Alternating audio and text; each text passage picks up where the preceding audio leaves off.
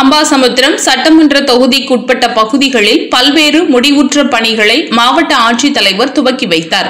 அம்பாசமுத்திரம் சட்டமன்ற தொகுதிக்குட்பட்ட பகுதிகளில் பல்வேறு முடிவுற்ற பணிகளை நெல்லை மாவட்ட ஆட்சித்தலைவர் ஷில்பா பிரபாகர் சதீஷ் துவக்கி வைத்தார். சேரன் மகாதேவியில் அங்கன்வாடி மையம் கூனியூரில் அங்கன்வாடி மையம் மூலச்சியில் அங்கன்வாடி மையம் மற்றும் பேருந்து நிறுத்தமும் அம்பாசமுத்திரம் நகராட்சி பகுதியில் ராணி ஸ்கூல் அருகே பேருந்து நிறுத்தம் அம்பை ரயில் நிலையம் அருகே பேருந்து நிறுத்தம் மற்றும் உயர் கோபுர மின் விளக்கு விக்ரமசிங்கிபுரம் நகராட்சியில் ரேஷன் கடை பாபநாசம் தலையணையில் ரோடு பாபநாசம் கோவில் முன்பு பிளேவர் பிளாக் சாலை உள்ளிட்ட பல்வேறு பணிகளை துவக்கி வைக்கும் நிகழ்ச்சி நடைபெற்றது.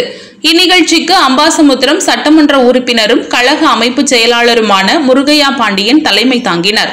மாவட்ட ஆட்சித்தலைவர் ஷில்பா பிரபாகர் சதீஷ் பொதுமக்கள் பயன்பாட்டிற்காக முடிவுற்ற பணிகளை துவக்கி வைத்தார்.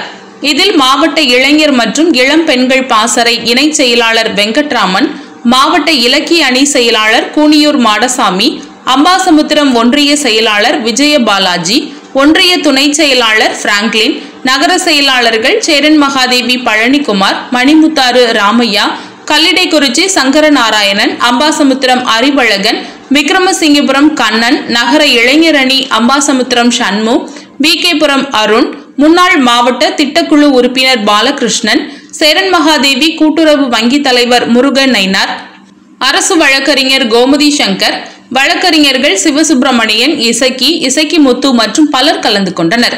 சேரன் மகாதேவி தாசில்தார் வெற்றி செல்வி மண்டல துணை தாசில்தார் சரவணன் சேரன் மகாதேவி வட்டார வளர்ச்சி அலுவலர்கள் விஜயசெல்வி முத்துகிருஷ்ணன் துணை வட்டார வளர்ச்சி அலுவலர் கோமதி உதவி செயற்பொறியாளர் சுகந்தி சேரன் மகாதேவி பேரூராட்சி செயல் அலுவலர் காதர் கூனியூர் ஊராட்சி செயலாளர் சிவன் பாண்டி மற்றும் பேரூராட்சி ஊராட்சி மற்றும் வட்டார வளர்ச்சி அலுவலகம் பணியாளர்கள் உட்பட பலர் கலந்து கொண்டனர்.